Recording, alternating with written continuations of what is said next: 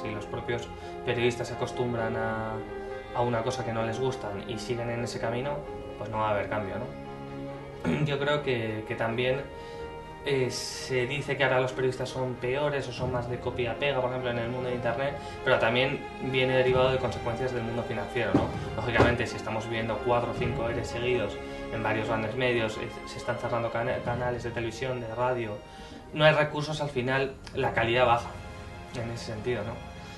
Entonces yo creo que el cambio tiene que nacer desde dentro, el periodista no tiene que, olvidar su esencia, que al final es periodista, o sea, no es no es experto en editar textos o no es experto en tal, sino que al final es periodista, ¿no? Eh, vive de las noticias, vive de, la actualidad, vive de la información, vive de los, de reportajes. Entonces yo creo que esa es la esencia, ¿no? que, el periodista eh, se vuelva a recuperar un poco lo, que había antaño. Sí que es cierto que, que las condiciones eran mejores, pero mmm, es a lo que hay que volver.